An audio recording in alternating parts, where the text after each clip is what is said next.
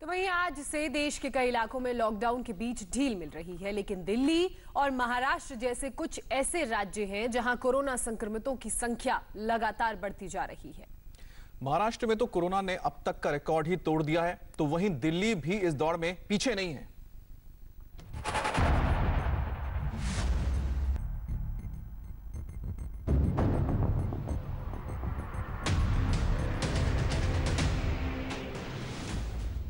दिल्ली और महाराष्ट्र में कोरोना का ब्रेक फेल दिल्ली में सामने आए कोरोना के 110 नए केस तो महाराष्ट्र में कोरोना ने तोड़ा अब तक का रिकॉर्ड सामने आए पाँच मामले.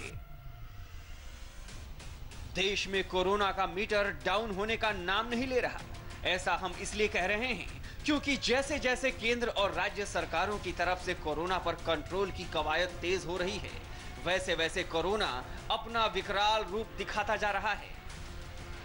सबसे पहले बात कर लेते हैं राजधानी दिल्ली की, जो कोरोना कैपिटल में बदलती जा रही है। आखिर हम ऐसा क्यों कह रहे हैं? ये आंकड़े इसकी गवाही दे रहे हैं। रविवार को दिल्ली में 110 नए मामले सामने आने के बाद अब कुल आंकड़ा 2000 के पार पहुँच गया है। इनमें से फ़िलहाल सोलह केस एक्टिव हैं, यानी 290 मरीज़ कोरोना से रिकवर हो चुके हैं। दुख की बात यह है कि इस महामारी के चलते अब तक 45 लोग अपनी जान गंवा चुके हैं। दिल्ली में पिछले छह दिनों के आंकड़ों पर गौर करें तो आपको पता चलेगा कि कैसे दिल्ली में कोरोना के मरीजों की संख्या बढ़ी है।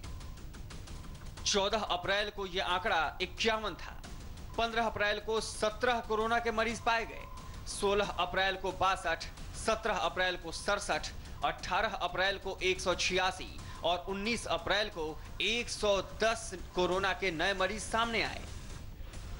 दिल्ली में अब तक 2003 कोरोना पॉजिटिव मामले सामने आ चुके हैं। सबसे ज़्यादा एक सौ छियासी मामले सिर्फ़ 18 अप्रैल को आए और इसके पीछे सबसे बड़ी वजह रही दिल्ली का जहांगीरपुरी का इलाका। 18 अप्रैल को जहांगीरपुरी से एक ही परिवार के 31 लोग कोरोना पॉजिटिव पाए गए, जिसने दिल्ली सरकार की भी नींद उड़ा दी। इनमें 14 लोग की उम्र 20 साल के नीचे है और 6 साल का एक बच्चा भी कोरोना पॉजिटिव पाया गया है। दरअसल कोरोना के चलते इस परिवार की एक महिला की मौत हो गई थी, जिसके बाद पूरा परिवार ही कोरोना से संक्रमित हो गया है। दिल्ली का जहांगीरपुरी इलाका कोरोना वायरस का एक बड़ा हॉटस्पॉट बनकर सामने आया। दरअसल यहाँ पर एक ही इलाके के एक ही ब्लॉक से 31 लोग कोरोना से पॉजिटिव पाए गए, जिनमें से 26 लोग एक ही परिवार के हैं और पाँच लोग उनके पड़ोसी हैं। हम इस वक्त उसी इलाके के बाहर मौजूद हैं और यहाँ की तस्वीरें हम आपको दिखाते हैं कि पूरी बैरिकेडिंग यहाँ पर की गई है। पूरे इलाके को पहले से ही सील किया जा चुका है, लेकिन इसे सील किए जाने के बावजूद यहाँ पर कोरोना के संक्रमण संक्रमण के कल 31 मामले सामने आए। इन सभी संक्रमित लोगों को नरेला के क्वारंटीन सेंटर में रखा गया है। इनके संपर्क में आए आस पड़ोस के 15 अन्य लोगों को भी कोरोना के संक्रमण का शक है। इन सभी लोगों का कोरोना टेस्ट किया गया है और फ़िलहाल उन्हें आइसोलेशन में रखा जा रहा है।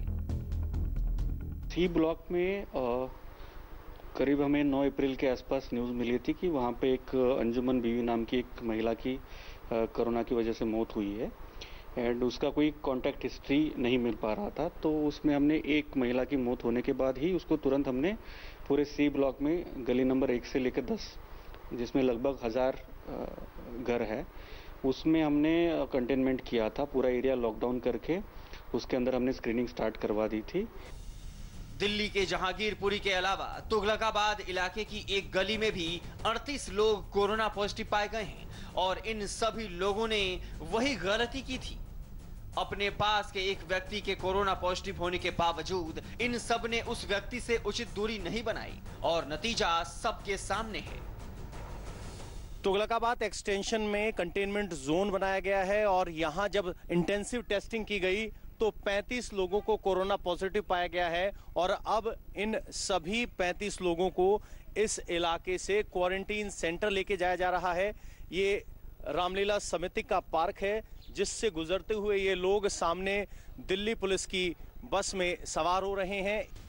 इस हॉटस्पॉट की शुरुआत एक बुज़ुर्ग के कोरोना पॉजिटिव पाए जाने से हुई थी।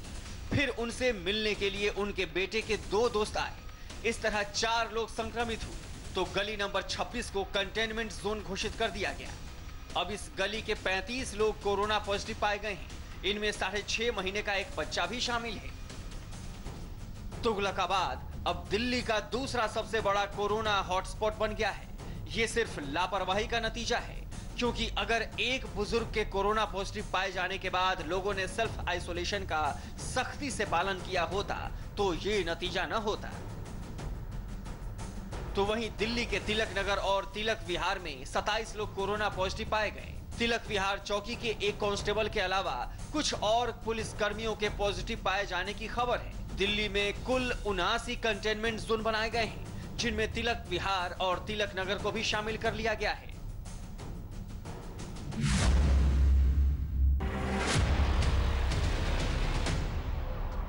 अगर दिल्ली में कोरोना मरीजों का आंकड़ा 2000 के पार है तो महाराष्ट्र में ये संख्या 4200 के पार है। यानी कोरोना का कहर झेलने के मामले में महाराष्ट्र अब भी नंबर एक पर है।